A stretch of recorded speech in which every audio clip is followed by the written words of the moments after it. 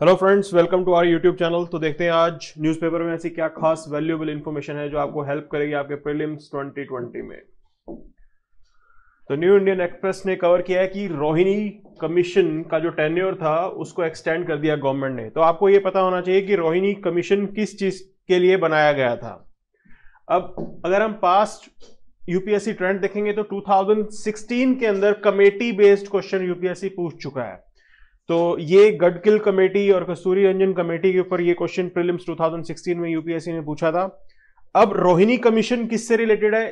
इससे, इस टाइप का क्वेश्चन कुछ बन सकता है। Rohini commission is related to तो ये जो है डी इसका करेक्ट आंसर है, क्योंकि ये जो सब कैटेगराइजेशन हुआ था अभी ओबीसी क्लासेस के अंदर, उससे रिलेटेड ये कमीशन गवर्नमेंट ने फॉर्म किया था। उसको कैसे अलाइन करना है, क्या चेंजेस लेके आने हैं। तो अभी ये स्टडी कर रहा है तो इसका जो टेन्योर है, वो सिक्स मंथ्स के लिए एक्सटेंड कर दिया गया था। इसीलिए ये न्यूज़ में आया है। एफपीआई रेगुलेशन 2.0 सेबी ने नए रेगुलेशंस इशू किए हैं एफपीआई को ध्यान में रखते हुए। तो ये फॉरेन पोर्टफोलियो इन्वेस्टर्स जो होते हैं, इनके ऊपर यूपीएससी लास्ट ईयर 2019 प्रीलिम्स में क्वेश्चन पूछ चुका है। और अब सैबी की नई गाइडलाइंस आई हैं। किस कमेटी के रिकमेंडेशन पे ये गाइडलाइंस लेके आया है सैबी तो आपको ये सारी चीज़ें ध्यान रखनी होगी। और बेसिकली इसके अंदर सब कैटेगराइजेशन बनाई गई है। जो कंट्रीज़ एफएटीएफ के मेंबर हैं, उनको अलग रखा गया है। उनके लिए अलग प्रोविज़न होंगे और जो एफ़ की मेंबरशिप के बाहर है, उनके लिए अलग प्रोविज़न होंगे। तो इससे ये कहा जा रहा है कि ease of doing business India के अंदर और बढ़ेगा। और इन्वेस्टमेंट लाना आसान हो जाएगा। अब इसके अंदर जो है आइडेंटिफाई किया गया है, कुछ हाई रिस्क ज्यूरिस्डिक्शन जो होती हैं, जहाँ से जिन कंट्रीज़ से डायरेक्टली कैपिटल इनफ्लो को मॉनिटर किया जाएगा। जैसे कि Mauritius Mauritius high risk jurisdiction में डाला गया है, और मोरिशियस से जो इंडिया के अंदर इन्वेस्टमेंट आ रहा है, उसको जो है टाइटली मॉनिटर किया जाएगा। तो ये नए जो है सेबी गाइडलाइंस लेके आया है। अब इसके अंदर कुछ और चेंजेस हैं, जैसे कि अब तीन कैटेगरीज में जो है कंट्रीज़ को अलाइन किया जाएगा। कैटेगरी वन टू थ्री और उसके अंदर जो रिस्ट्रिक्शंस होंगी, उसी पे बेस्ड होंगी। अब प्रीलिम्स 2019 के अंदर फॉरेन पोर्टफोलियो इन्वेस्टमेंट पे इन्वेस्टर्स पे कुछ इस टाइप से क्वेश्चन डायरेक्टली पूछा था। अब देखते हैं कि अगर इन डेप्थ क्वेश्चन हम लोग फ्रेम करें तो किस टाइप से बन सकता है। Consider the following statement regarding FPI regulation 2.0 first statement these will replace the rest while SEBI regulation 2014 तो 2014 की जो रेगुलेशन है बेसिकली ये उसको रिप्लेस करेगा।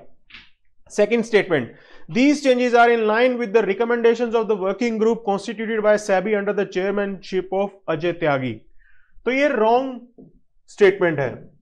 क्योंकि एच आर खान जो है, उनके अंडर ये वर्किंग ग्रुप बनाया गया था और उसकी रिकमेंडेशन पे जो है, ये चेंजेस लाए गए हैं। तो आपको ध्यान रखना है कि इसको as as N H Khan committee का नाम भी दिया जा सकता है इस वर्किंग ग्रुप को। तो वो आपको थोड़ा आइडिया रखना पड़ेगा। अब जो है, ये यूएन की एक स्टेटमेंट है कि 30 परसेंट ऑफ़ अर्थ का जो सरफेस है लैंड और ओशियन को मिला के, उसको प्रोटेक्टेड एरिया में कन्वर्ट करना पड़ेगा 2030 तक, अगर हम इकोसिस्टम को सस्टेन करना चाहते हैं तो। तो इसके अंदर और इंफॉर्मेशन भी दी गई थी। तो देखते हैं क्वेश्चन कुछ इस टाइप से बनेगा। Which of the following species have been declared extinct तो बेसिकली इसके अंदर ये जो है, इनमें से एक स्पीशीज के बारे में इंफॉर्मेशन थी कि वो एक्सटिंक्ट हो गई है। अब इसके साथ तीन ऑप्शन दो ऑप्शन और डाल के आपसे कुछ इस टाइप से क्वेश्चन बनाया जा सकता है। First passenger pigeon second fresh water Chinese paddle fish third bramble cay melomys तो अगर हम शंकर आई फॉलो कर रहे हैं अपनी प्रिपरेशन को लेके इकोलॉजी कवर करने के लिए, उसके अंदर पैसेंजर पिजन मेंशन है। ये लास्ट ईयर ऐड किया गया था। और fresh water Chinese paddle fish ये इस आर्टिकल के अंदर मेंशन है कि कैसे ये भी एक्सटिंक्ट हो गया है। तो ए इसका करेक्ट आंसर है। आपको इन तीनों का नाम ध्यान रखना है। Passenger pigeon fresh water Chinese paddle fish और ब्रैम्बल के मेलोमी तो ये बेसिकली ऑस्ट्रेलियन चूहा होता है, ऑस्ट्रेलियन माइस होता है ये। तो आपको इसके बारे में थोड़ा आइडिया होना चाहिए कि ये ऑस्ट्रेलिया में मिलता था और वहाँ से एक्सटिंग हो गया। और fresh water Chinese paddle fish ये भी रिसेंटली साइंटिस्ट ने डिक्लेयर किया है। तो ये आपको पता होना चाहिए। अब पेलिकन पैराडाइज एट उप्पलाड पाडू जो है बर्ड सेंचुरी है उप्पला पाडू तो आपको पता होना चाहिए कि उप्पला पाडू बर्ड सेंचुरी कहाँ पे लोकेटेड है। अब इसके अंदर कुछ इस टाइप से क्वेश्चन यूपीएससी पूछ सकता है। जैसे प्रीलिम्स 2014 के अंदर मैच द फॉलोइंग करके क्वेश्चन आया था कि ये wild life sanctuaries tiger reserve और जिस स्टेट में ये लोकेटेड है, उनके बीच में एज अ पेयर जो है आपसे क्वेश्चन में पूछा गया था। अब इसके अंदर अगर हमें क्वेश्चन बनाना हो तो कुछ इस टाइप से बनेगा। Consider the following statement Nelapattu wild life sanctuary Andhra Pradesh. Annamalai tiger reserve Karnataka. Uppalapadu bird sanctuary, Andhra Pradesh. तो बेसिकली नल्लपट्टू बर्ड सेंचुरी जो है, ये भी आंध्र प्रदेश में है, और पुलिकट लेक पे जो फ्लेमिंगो फेस्टिवल सेलिब्रेट किया जाता है, वो नल्लपट्टू बर्ड सेंचुरी भी फ्लेमिंगो फेस्टिवल का एक साइट है, हमने कल के कल के वीडियो में ये कवर किया है। और अन्नावाला टाइगर रिज़र्व आपका तमिलनाडु में है। वहाँ से स्ट्रेच होके केरल तक जाता है। तो कर्नाटका आपका रॉन्ग ऑप्शन हो जाता है, और उप्पल पाडू बर्ड सेंचुरी ये भी आपकी आंध्रा में लोकेटेड है। तो वन एंड थ्री इसका करेक्ट आंसर हो जाता है। Andhra Pradesh bets big on zero budget natural farming अब ज़ीरो बजट नेचुरल फ़ार्मिंग के बारे में आपको थोड़ा आइडिया होना चाहिए। तो प्रीलिम्स 2018 के अंदर ऑर्गेनिक फ़ार्मिंग के ऊपर यूपीएससी ने क्वेश्चन पूछा था और ये इन डेप्थ क्वेश्चन था डिटेल्ड एक्सप्लेनेशन इसके अंदर मांगा गया था। अब अगर हम इसको देखें तो इसके अंदर कुछ इस टाइप से स्टेटमेंट बेस्ड क्वेश्चन ऐसे यूपीएससी बना सकता है। The following statement regarding zero budget natural farming first statement it is is the debt cycle for farmer तो ये करेक्ट है, क्योंकि जब आप अपनी क्रॉप उगा रहे हो और उसी से ही इनपुट में यूज़ कर रहे हो अगली क्रॉप के लिए तो आपका जो खर्चा है वो कम हो जाएगा। आपकी इनपुट कॉस्ट कम हो जाती है इससे। तो फार्मर को कम लोन लेना पड़ता है। कम ब्याज मतलब कम जो है, लोगों से पैसे लेने पड़ते हैं। तो उसकी डेट साइकिल जो है वो ईज हो जाती है थोड़ी।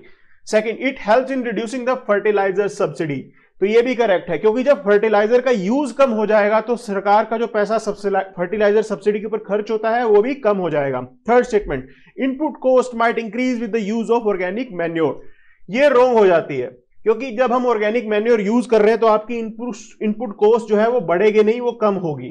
तो ये स्टेटमेंट आपकी गलत है। बी इसका करेक्ट आंसर है। हिंदू के अंदर अब आज हेडलाइन थी कि कैसे जो है एससीओ की मीटिंग के अंदर इमरान खान को बुलाया जाएगा। तो आपको पता होना चाहिए कि एससीओ के करंट मेंबर्स कौन से कौन से हैं? India China Pakistan Russia Kazakhstan Kyrgyzstan Tajikistan Uzbekistan तो करंट मेंबरशिप आपको पता होनी चाहिए। इसके अलावा एससीओ का जो हेडक्वार्टर है, वो कहाँ पे लोकेटेड है? प्लस इसके जो एजेंसीज है, जैसे रीजनल एंटी टेररिस्ट स्ट्रक्चर वो कहाँ पे लोकेटेड है? वो बॉडीज कौन सी कौन सी हैं? ऑब्जर्वर स्टेटस कौन से कौन से कंट्रीज़ के पास हैं? Afghanistan, Belarus, Iran, Mongolia. तो ये आपको थोड़ा आइडिया होना चाहिए।